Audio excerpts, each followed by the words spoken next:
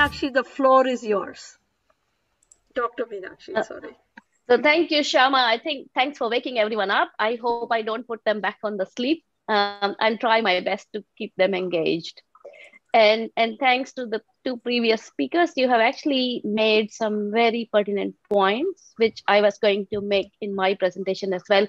So I think I'll um, I'll skip some points which have been quite well made already um, and spend some time on, on discussing um, on the questions which have been raised. So as, uh, as Shama alluded, I'm going to talk a little bit more about experience of Australia and more specifically Melbourne uh, to drought because just like India, Australia, in Australia also water is a state issue. Um, and we struggle with managing water between the borders. So our uh, our basins don't identify the boundaries between states, but of course the governing agencies do. So that's a that's a common challenge between India and Australia. So what I'm going to do today is um, run through these four main headings, traditional urban water management. I don't think I need to spend too much time. And the key challenges, um, spend a bit of time on IUWM and where does desalination fit in. Uh, Dr. Meenakshi, we are all people who are not very uh, knowledgeable on this. So please, this is our opportunity for, uh, it's an opportunity for us to learn. So sure. go ahead. All right. Thank you. Thank you. So traditional urban water management, um, this is pretty straightforward that we have been using very linear system. Uh, we get the rainfall, we have the runoff, we collect as much as we possibly can, and rest floods our cities. And um, then we use that water which we have collected in our reservoirs to treat, provide to households, industry, agriculture. We collect the wastewater, treat, and dispose.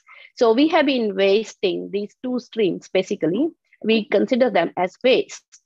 Um, and the key objectives, of course, have been that we want to provide reliable drinking water supply, keep the wastewater away from our water supply so that we don't have cross contamination.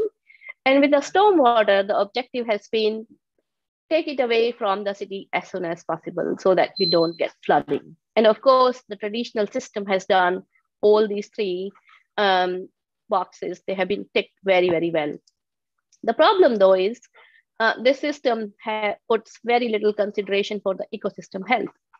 What is going to happen to the receiving waterway where we are dumping our wastewater, treated or untreated? The same with the stormwater, which carries all the contaminants from the catchment. And it doesn't, of course, address the climate change vulnerability or city growth. Population is growing, uh, but rainfall is not proportionately. And on the top of that, the rainfall is not uniformly distributed. So Australia has very variable rainfall and you know about India, all the rainfall um, gets out in, in three or four months during the monsoon. So what do you do for the rest of the year unless you have huge storages uh, which can be kept for dry months? So the key challenge is population growth. I just said that I'm not going to spend too much time here. So we need um, high quality water to supply and water security is linked to energy and food security as well.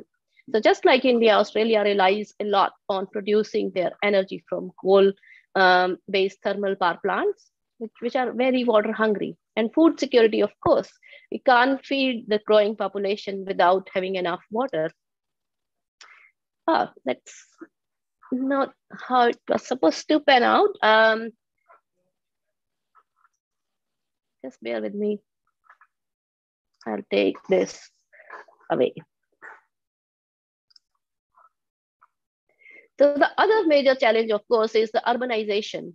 Um, nearly 70% of world's population is expected to live in the cities. Um, in, in India, that number is small, but for country like Australia, 90% of population already lives in city. So we have growing demand at a very concentrated space.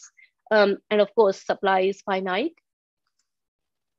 And it brings problems like um, peak flows after the after the rain i think most of you would have seen this figure the green line actually here shows the amount of runoff that will be generated in a undeveloped site. So if the site is forested, as soon as the rain starts to happen, on x-axis, it's showing time. On y-axis, it's showing the runoff volume. So a lot of water actually infiltrates into the soil. It will recharge the groundwater and also provide the base flows to the rivers for summer. And only after the rain um, continues for a while, you'll start to see surface runoff, which, which goes directly into the streams. But the blue line here is showing uh, what happens in an urbanized catchment where most of the pervious spaces have been replaced by uh, buildings or roads and concrete pavement. So very little space left for groundwater infiltration and very flashy peaks of stormwater runoff, which means it brings a lot more um, flow into the rivers. And because it's running at high velocity, it brings all the contamination as well. Um, and then the other problem is, of course, um, increasing temperatures and reducing precipitation predictions for future. So this is a case study for Australia, but um, look at the results. They are not dissimilar for India as well. So the top figure here shows um, three scenarios, low emissions, medium emissions, and high emissions. And Australia, of course, it's in the high emission at the moment. We're trying to move towards medium. But even with the low emission, which is going to take substantial effort, by 2050 and 2070, we are seeing increased temperatures. And the bottom figure is showing the change in precipitation. And all these yellows, oranges, and red colors mean reduction in precipitation.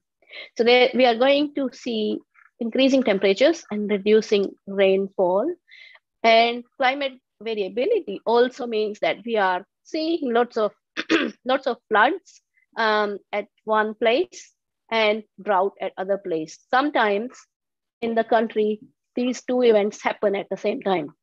so one state is experiencing drought and another one is experiencing flood. And, and these some of these pictures are from India and some are from Australia. So they share those problems uh, really well. They're all same problems. And uh, this graph here actually shows the water inflow in Perth dams, Western Australia dams over the century, or the reservoirs, you can say. So we were just hearing that we rely so much on rainfall and collecting that water in reservoirs. Um, the x-axis shows timeline from 1911 to 2011, and x-axis is y-axis is showing um, the amount of water which gets into those reservoirs in gigaliters, which is 10 raised to 9 so if you focus your attention on the green line here, it shows between 1911 and 1975, the average amount of water which we collected in the reservoir was 338 gigaliters. There were interannual variabilities, but that's the average. Look at next 25 years between 75 to 2000, that amount reduced to 177, so almost half and um, Jay mentioned about the millennium drought we had.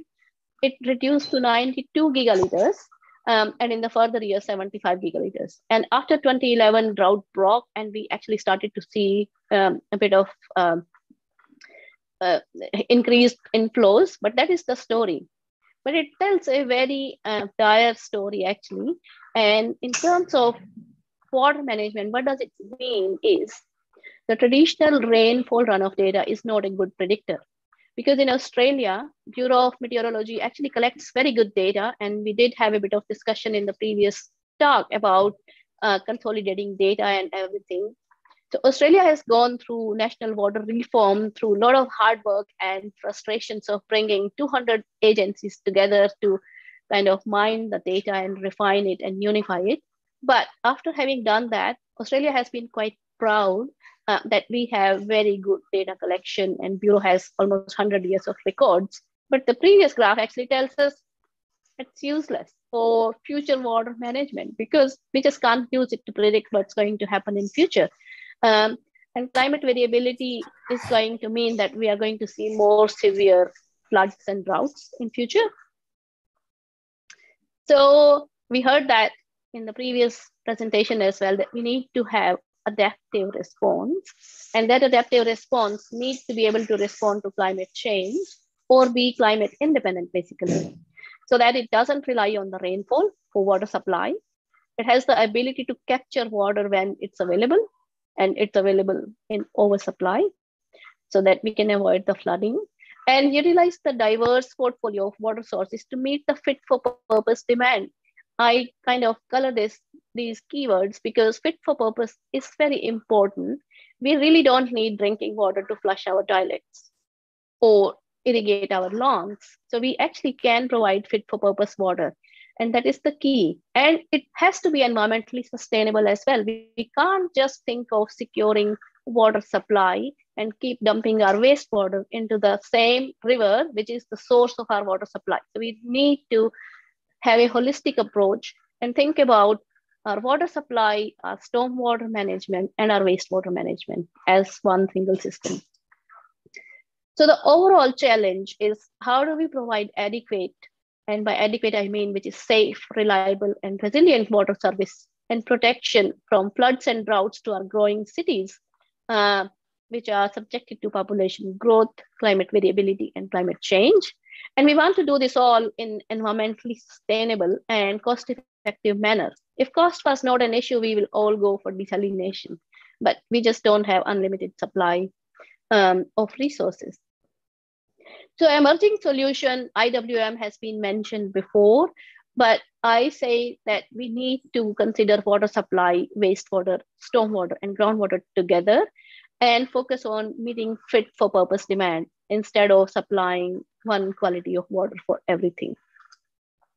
And it, of course, aims to minimize the impact on natural environment, maximize the contribution to the economic uh, vitality and overall community improvement, and produce less waste. And um, the key to that is we have heard that that we reuse wastewater for drinking or non-drinking purpose we make best use of stormwater and we have desalinated water. The question though is um, which one we should use and in which sequence. And to that, I'm going to talk very quickly about Australia's response to climate change. Um, in Australian uh, major centers, all the cities, there is strong focus on implementing stormwater reuse and recycled wastewater where possible. But as Jess said, all the five major cities in Australia now have a desalination plant. And Perth has two because they have very little um, surface water supply and they rely a lot on groundwater, which is now depleting. Um, so desalination plants do provide capacity to supply increased demand without impacting the freshwater resources, but it is the most intensive and uh, most energy intensive and costly to build and run even if you don't need water and australia actually has experienced that that even if you don't need any water from desal plant you need to keep the system running otherwise your membranes are going to die out. So it's expensive just to run. And what got us into desalination while we have been looking at other options as well for that i'll take you to melbourne's response. So Melbourne's annual water demand is around 400 to 450 gigaliters. And we had a 13 year long drought, which lasted from 97 to 2009. Um, if the reservoirs are full, the Melbourne has large reservoirs enough to supply four years of demand. So it's around 1800 gigaliters. But the reservoir levels fell to less than 30% because the drought was really very long. So the government waited until 2004, but because rains were not coming back and reservoir levels were falling, two large infrastructure projects were initiated. So desalination plant uh, with capacity to supply one third of Melbourne supply, 150 gigaliters. And the other one was a north-south pipeline because we heard agriculture is the biggest user. There are a lot of inefficiencies there as well. So a pipeline was built um, to bring some water from the agriculture district to the city so that we can meet the city demands. But while these projects were initiated, they take they take long time to actually get on the ground and get started. So there was a very uh, big push on the demand management and awareness campaigns. So there were lots of different uh, options adopted to, to make public aware of the situation, like displaying water levels on the billboards as you travel down the road, um, lot of media um, campaigning, and there was a target of 155 liters per person uh, per day use. There were several stages of water use restrictions, and the most strict ones actually um, restricted any use of drinking water into lawns or gardens. Rainwater harvesting through subsidies. So now we have 30% households with rainwater tanks because government provided subsidies to put that. And efficient appliances like dual flush toilets, efficient shower heads, and water ratings for dishwashers and cloth washers.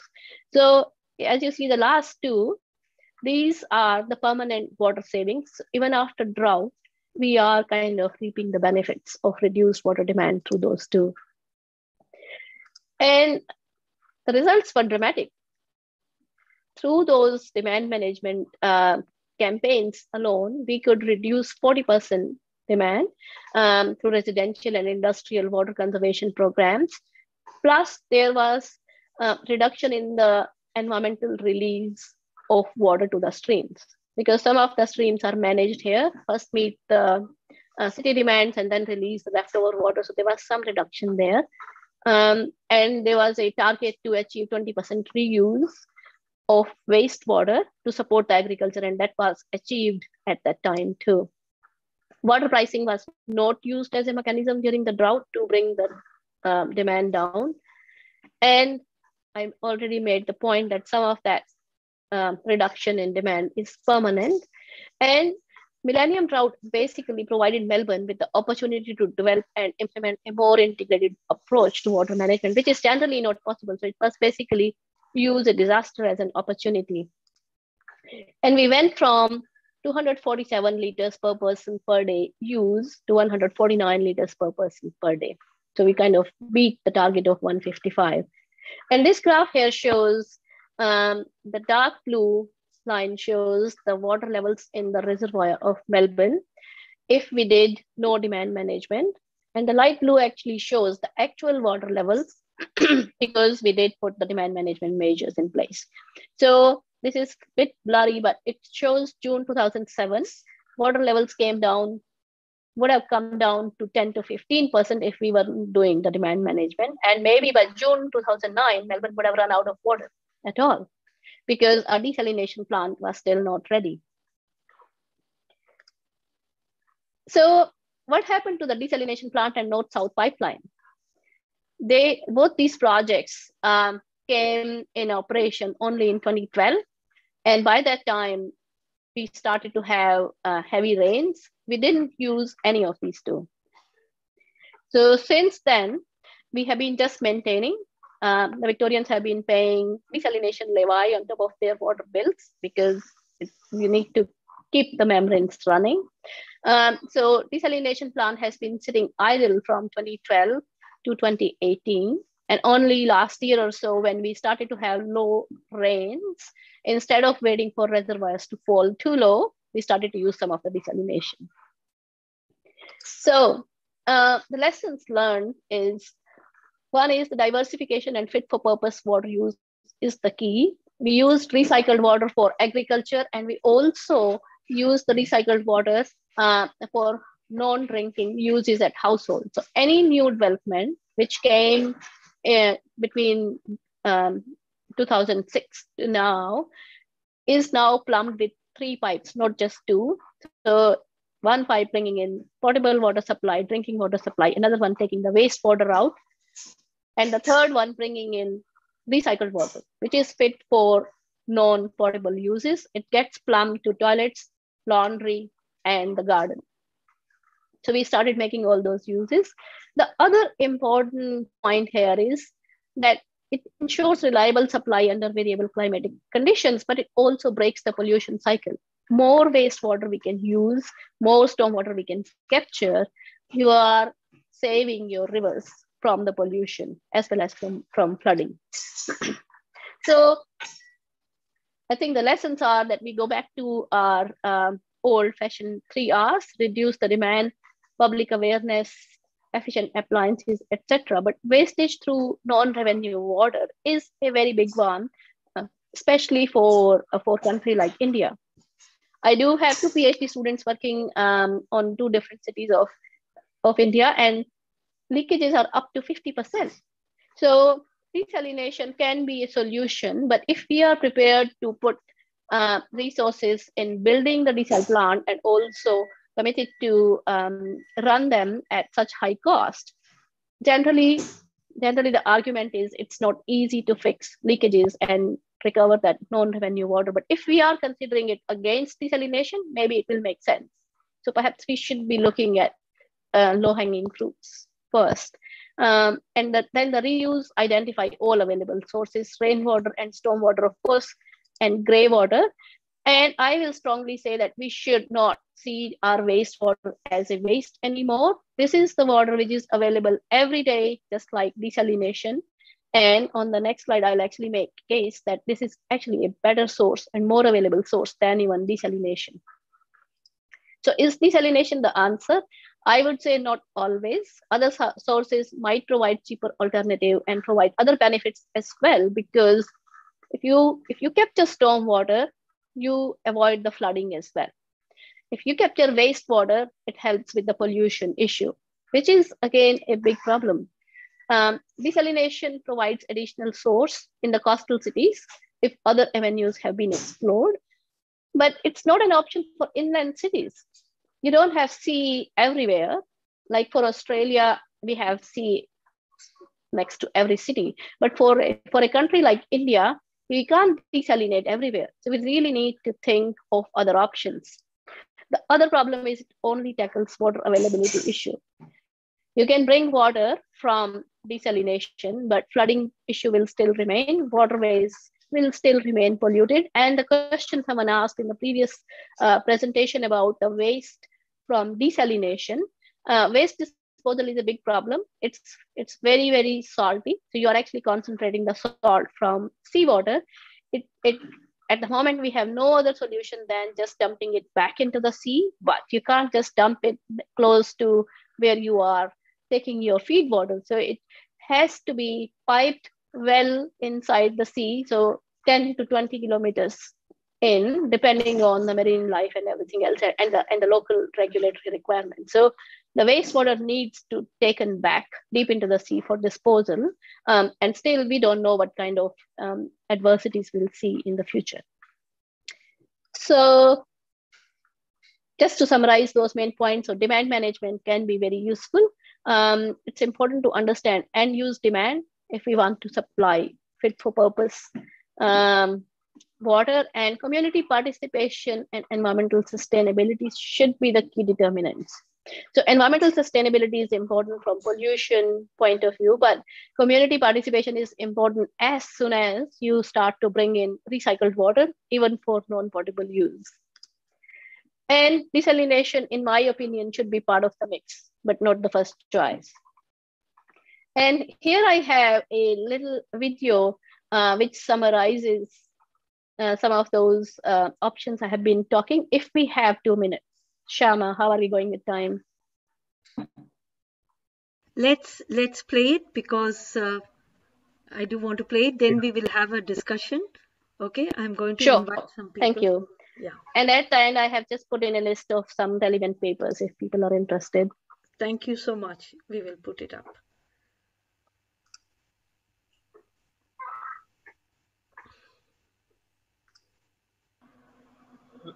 Dr. Meenakshi, we cannot see the video. I think you have to share your screen again with. Ah, okay. Uh, yeah. If it Just doesn't work, then we will go to the we will go to the discussion immediately. While she is doing it, I just want to thank Dr. Meenakshi because it has been a very comprehensive introduction to us, uh, people like us uh, from UNU Merit who are social scientists to understand the different uh, implications. And uh, my uh, question to the discussants, you know, Dr. Uh, Amitabh Basu and um, Anurag mentioned also Dr. Bhattacharya is really how do we, um, I'll just finish. I'll, I'll, we'll see the. Uh, can can you see the slide now? Yes, we can, we can, we can. So let's uh, let's see the video. But we can't hear anything, Dr. Meenakshi, but we can see. Uh, okay. If you want, you send it on the chat. Uh, Jairaj taught me how to share it with uh, sound. He will do it. Or we can Uh, see sure, it okay. later because we are running short of time. Do you mind, Dr. Meenakshi? I have I have left the link in my presentation, so you can share it later. Okay, thank you. So please, It actually summarizes uh, it summarizes all other options than desalination I, I just talked about and um, and what benefits it can provide. So it's a nice little video. in fact, I think I, I like all the presentations so much. This idea of giving the video as a little challenge competition for future interns would be great or anybody. I think it's very, very informative.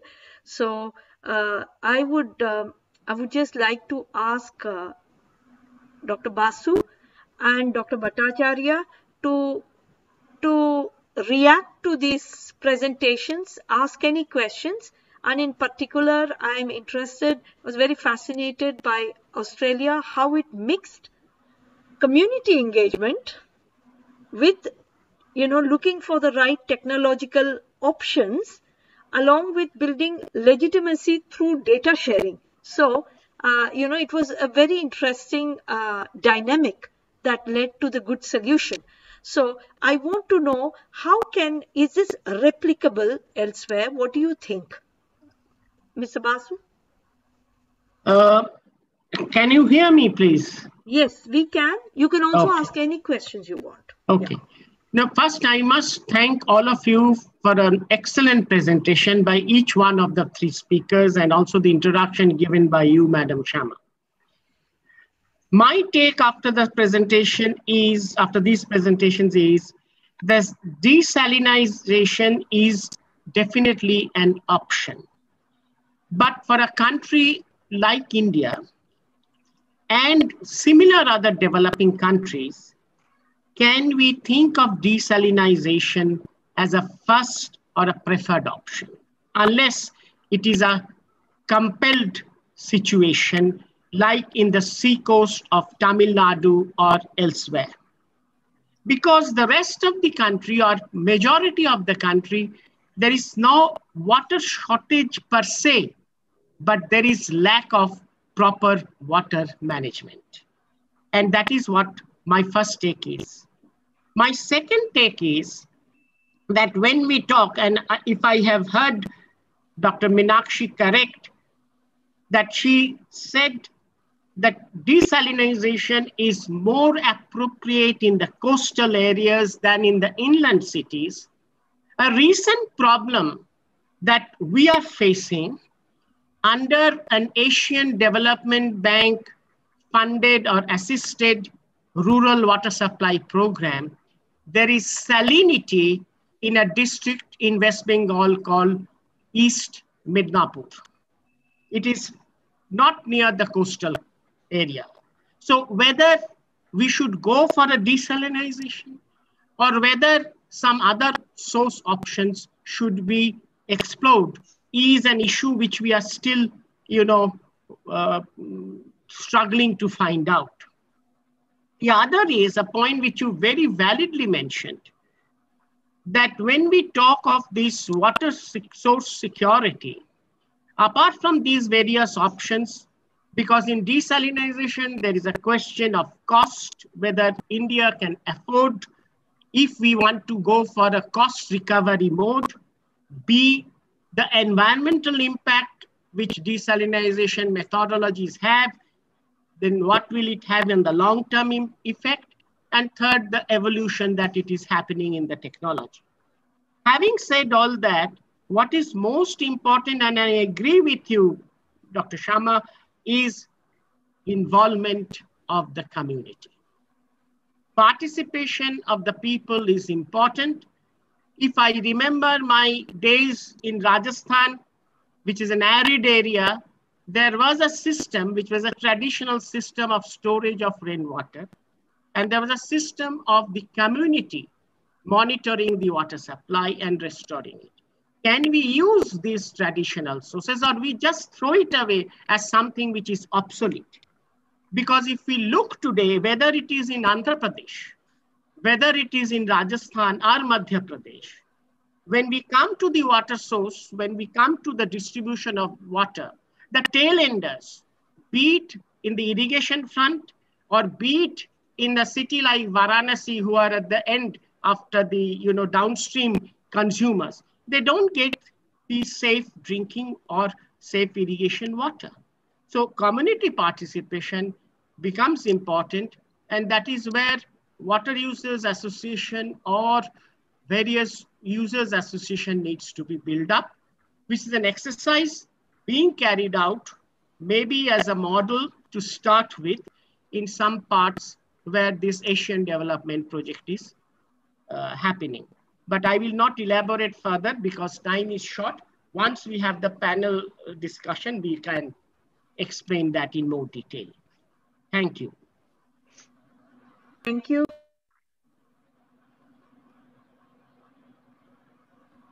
now I'm unmuted. Okay, so your points were very, very valid. Thank you. Uh, I want to say two things. One, unconnected to what you said, and then I'm going to ask our panelists to respond to you. Uh, one unconnected is uh, many people are writing interesting comments. I ask you to write your comments saying who you are at the end, and we will be happy to tweet all this on your behalf to during the day to the relevant uh, water authorities, to UN Water, for example. So please write down whatever you feel.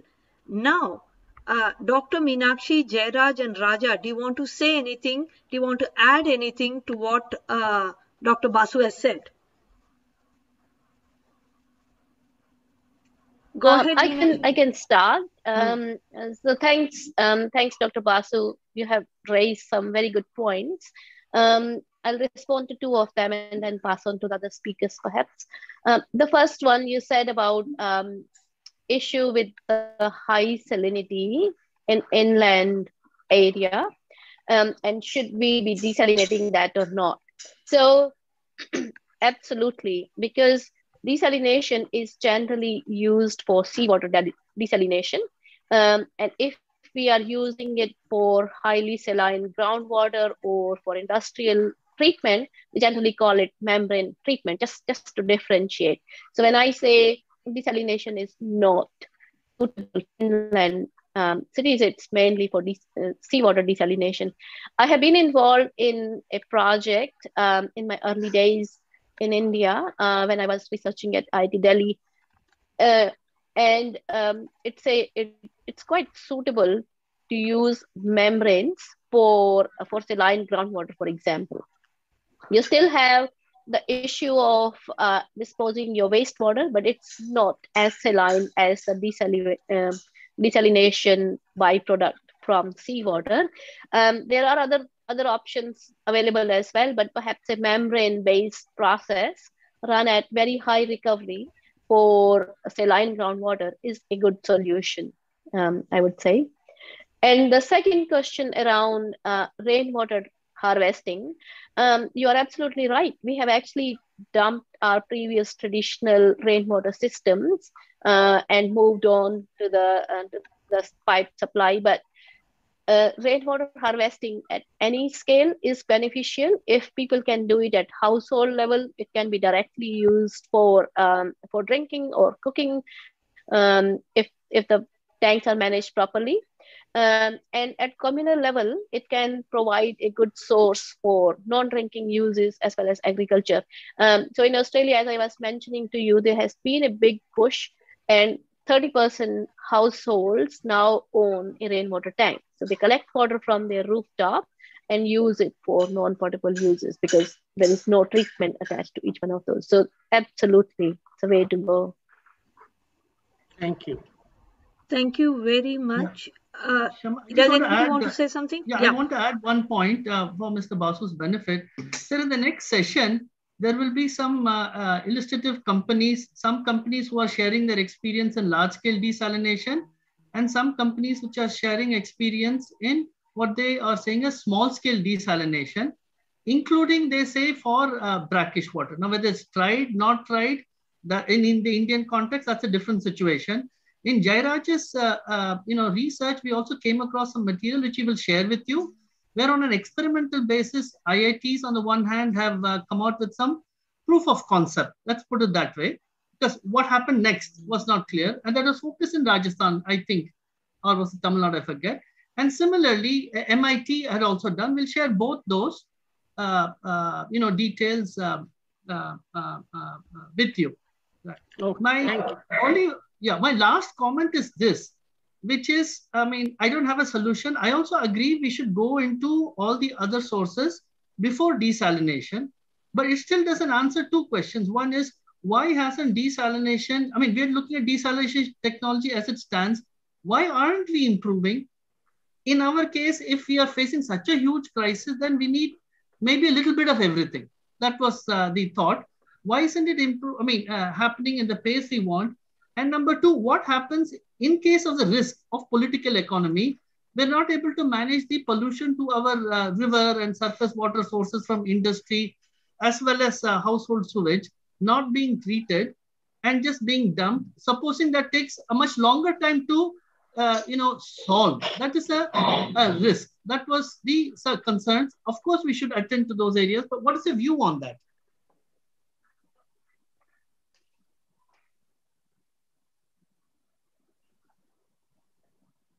Yeah, Miss. Uh, Would you like me to respond yeah, to that? Anybody, right? Yeah. Yeah. Uh, okay, so I I actually I briefly touched on that one. So non-revenue water and untreated wastewater getting into our streams, uh, they are perhaps two quite untapped opportunities. And I hear you saying that uh, it might take us a while to put up the sewage treatment plants and solve this problem. So uh, instead of focusing on that, um, can we actually go and fix the water supply problem through desalination and then come back to it? So my, my uh, my suggestion or my view on that is that we should perhaps go and bite the bullet as it is, because if we ignore the wastewater treatment problem, um, it's not going to go away. And, while we are on to man, uh, securing water supply, this is the best nudge required that we solve water security problem as well as wastewater treatment problem as well. Because if we went ahead with desalination, um, we will still be producing wastewater. We will keep putting that untreated wastewater into our rivers, which means because supply is now coming from sea, we don't really have any incentive to manage our river water quality at all. And it is going to be a problem which never gets tackled. The other problem is we still will have the issues around flooding and everything else um, untackled and and with seawater we will create another waste stream of brine i'm, I'm not against desalination uh, i'm just saying that we perhaps should be taking a holistic view instead of Um, parking all the problems we have and then try to find a, a separate solution. A very brief one on your other question around why the cost of desalination hasn't come down. It has actually if you look at it and compare the cost in last 20 years it has come down tremendously but it's still quite high when you compare with everything else